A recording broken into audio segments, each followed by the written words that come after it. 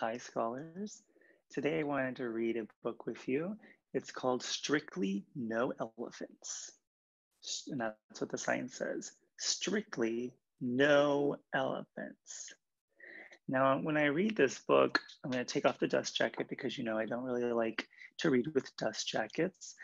Um, do you think that the picture is going to be the same on this dust jacket and on the cover? Or do you think they're going to be different? So give me a thumbs up if you think the pictures will be the same. Give me a thumbs down if you think they're gonna be different. Let's find out. Oh, they're the same this time.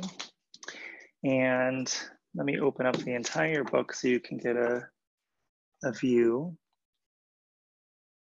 Okay. Strictly no elephants. We have just like a bluish end pages or end papers. And the title page says Strictly No Elephants, written by Lisa Mantchev and illustrated by Taeeun Yoo.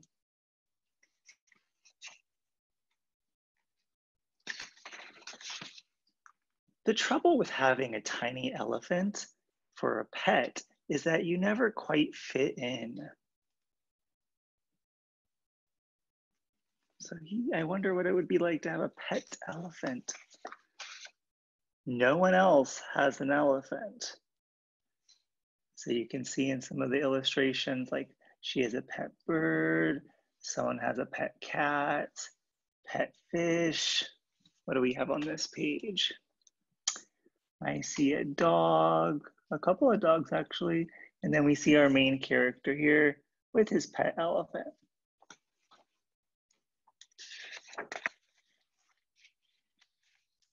Every day I take my elephant for a walk. He is very thoughtful. Uh, he is a very thoughtful sort of walk. I'm sorry. His is a very thoughtful sort of walk. Look what that elephant is doing. Being very thoughtful, carrying that umbrella in the rain. He doesn't like the cracks in the sidewalk much.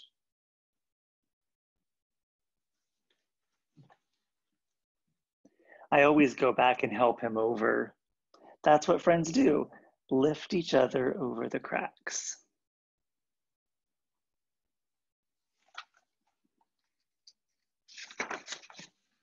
Today I'm walking my tiny elephant to number 17. It's Pet Club Day and everyone will be there. They have matching scarves. How cute. Everyone else looks like they're on their way to apartment number 17 for pet day.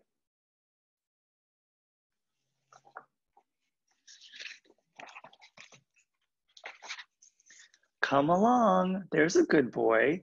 I coax him the last few feet. It'll be fine.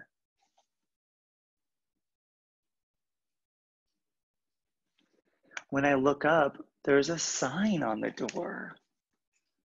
What do you think the sign will say?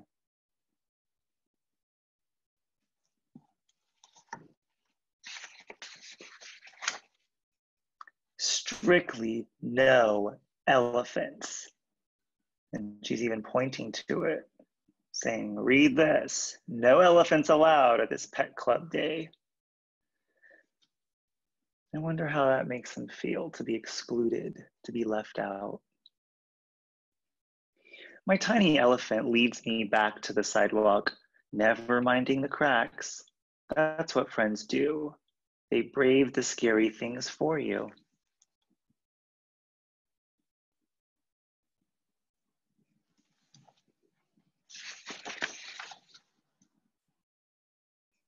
Looks like it's starting to rain.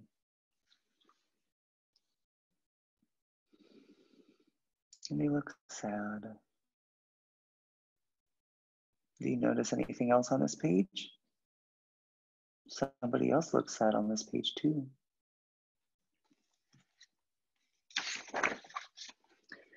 Did you try to go to the pet club meeting too? The girl asks. Yes, I say, but they don't allow elephants.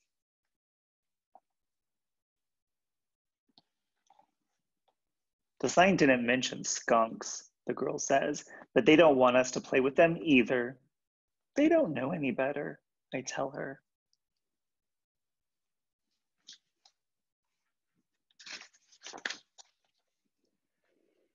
He doesn't stink, the girl adds. No, he doesn't, I agree. What if we start our own club?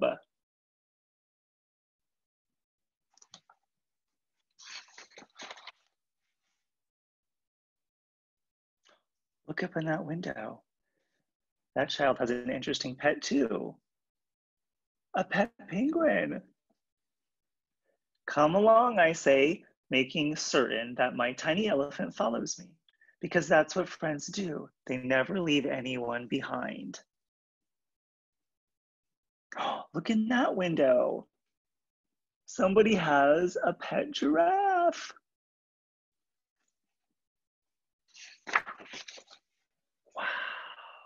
Look at these unique pets.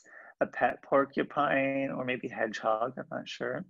I see a bat, oh, a narwhal. Oh my goodness. We can play here, one of our new friends says. All of us. And maybe that will be their clubhouse for pet day.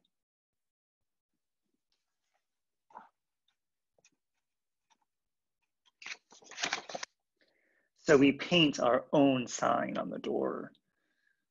What do you think the sign's gonna say? Let's read it. It says, it used to say strictly no strangers, no spoil sports, but you can see they put a red X on it. And now they're writing all are welcome. So everyone can come here.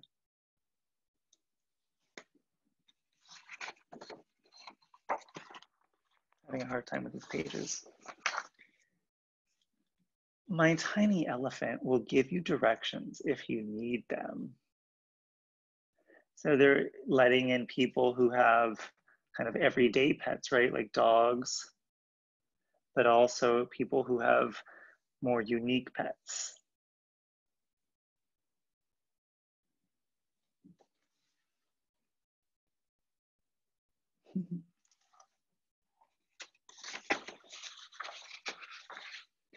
Because that's what friends do.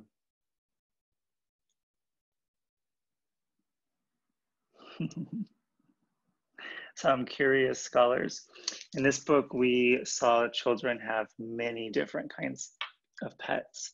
If you could have any pet, any pet at all, it could be as unique as you'd like it to be. I wonder what kind of pet you would have.